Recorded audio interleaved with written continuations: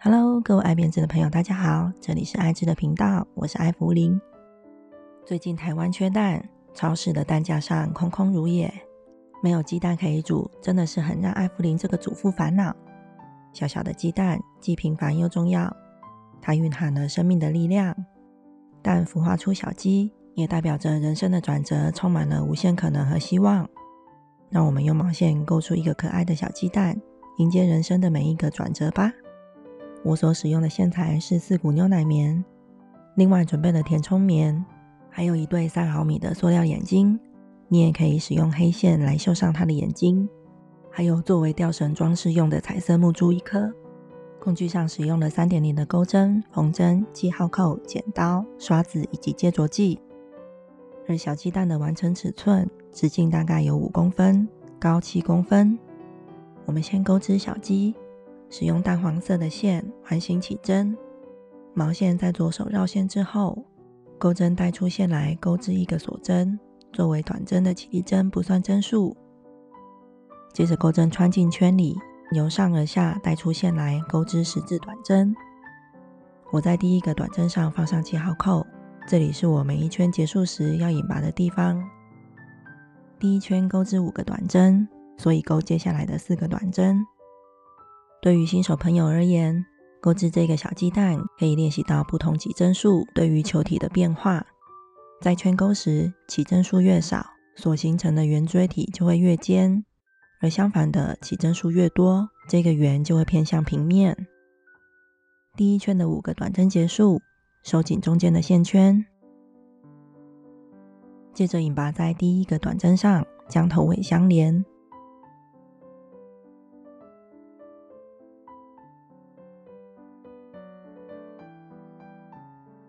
我们可以收紧这一个引拔针，以避免它跟其他的针目混淆。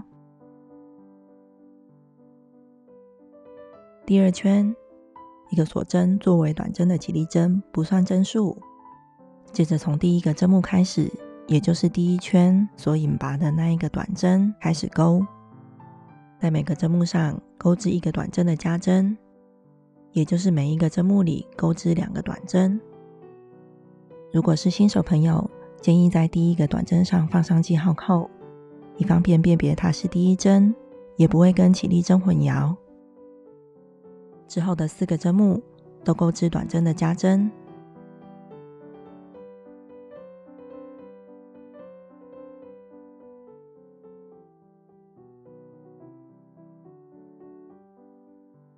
第二圈结束，引拔在第一个短针上，将头尾相连。我们仍然收紧这个引拔针，以避免它跟短针针目混淆。接着第三圈，一个起立针之后，以两个针目为一组，第一个针目钩织一个短针，而第二个针目钩织一个短针的加针。这样完成一次中括号的内容。中括号的内容循环钩织五次，完成这一圈，最后会完成十五个短针。第三圈结束，引拔在第一个短针上，将头尾相连。我们仍然收紧这个引拔针。之后，我们可以按照文字解钩织后面的圈数。之后的每一圈也都增加五针，而加针的位置错开，这样织片才会圆。而第七圈、第八圈则不再做加针，维持在三十个短针，每圈也是一个锁针起立，不算针数。结尾引拔在第一个短针上，将头尾相连。而第九圈在钩了八个短针之后，我们要钩小鸡的翅膀，继续钩织四个锁针。接着倒回，从倒数第二个锁针开始，连续三个短针，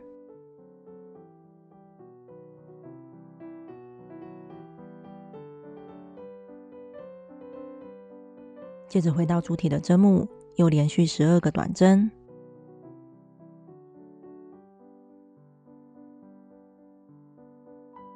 我在翅膀后面的这个短针上放记号扣这个针目在下一圈钩织时容易混淆。之后继续回到主体钩短针。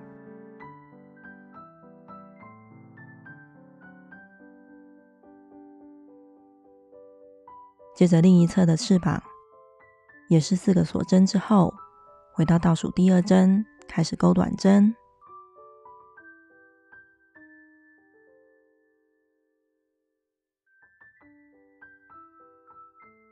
翅膀的三个短针钩完，又回到主体继续钩短针。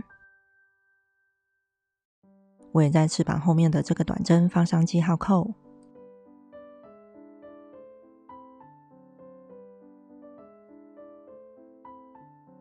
第十圈到第十四圈，我们仍然维持三十个短针不变，只是第十圈在钩完八个短针之后，会遇到小鸡的翅膀。我们将翅膀往前翻，越过它，在做记号扣的那个针目，接着继续开始钩主体的十二个短针。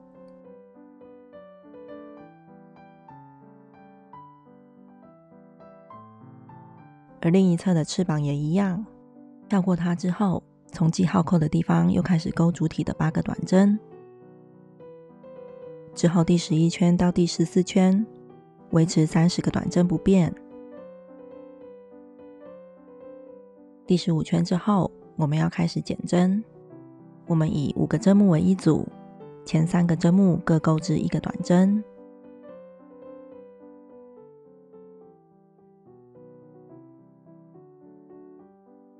而第四、第五个针目合并钩织一个短针。我的减针方式是一次挑起两个针目的前半针，合并钩织一个短针，这样就减去一针。之后我们循环钩织中画号的内容，总共重复六次，减去六针。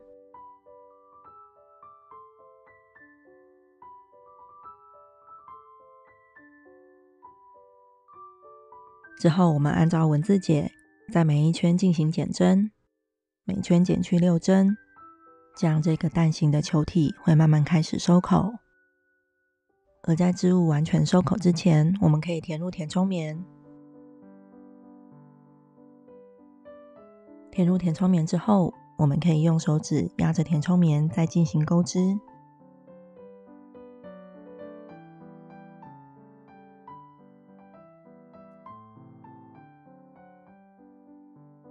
第十八圈结束，断线。我们利用缝针将线头像这样一一穿过最后一圈的前半针，之后将这个线头收紧，就可以将小缺口给收好。接着再藏好线头，这样小鸡的主体就完成啦。同时，它也是一个蛋的形状。接着，我要在头顶上为它加上绒毛。我们剪两条约七公分的线，将两条线一并对折，接着利用钩针将钩针穿进第一圈，像这样将这两条线固定在头顶上。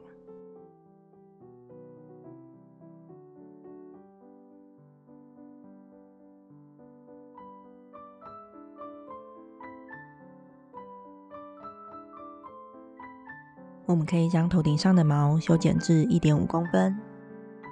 接着用刷子或者是牙刷，将头顶上的毛刷出毛绒的感觉。再用金黄色为它绣上表情和脚。我们将有引拔痕迹的地方作为背面，在第十五圈到第十六圈为它绣上脚丫子。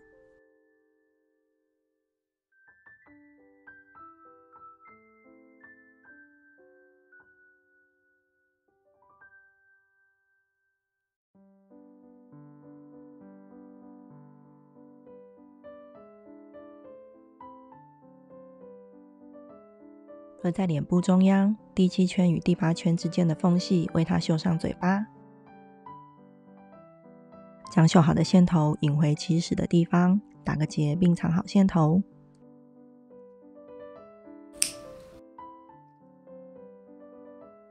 最后为它粘上眼睛，这样这个小鸡就完成啦。接着是蛋壳，我们以白色环形起针，钩织的方法跟小鸡的主体类似。只是起针数改为六个短针，之后我们就这六个短针按照文字解拓展织片。第三圈之后，每隔一圈进行加针，一直钩织到第十一圈。每圈一开始也是一个锁针作为起立针，不算针数。而结尾也是引拔在第一个短针上，这样这个拓展的蛋壳就会比小鸡大一号。而第十二圈，为了让这个蛋壳有裂痕，在钩织五个短针之后，接着继续钩织二十六个锁针。接着跳过主体上的二十六个针目，我们可以数一数，从倒数第五个短针上开始钩织五个短针，结束这一圈，总针目仍然维持在三十六个针目。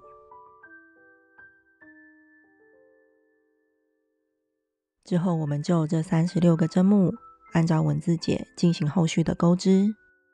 第十三圈到第十八圈维持三十六个短针，而第十九圈之后就开始减针，每一圈减六针，一直到第二十三圈。减针的方式如同之前所说的，一次挑起两个针目的前半针，合并钩织一个短针。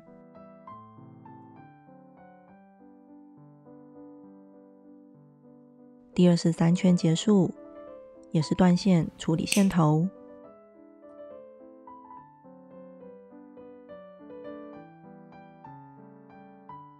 在收口之后，我们可以将线头引到蛋壳的内侧，打个结并藏好它。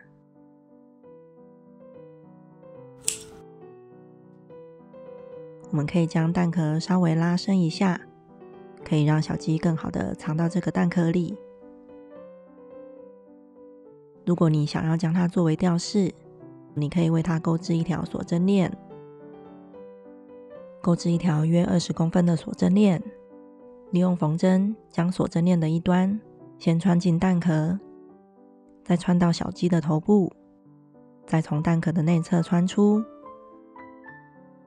在绳子的两端打结之前，穿进一个木珠做装饰，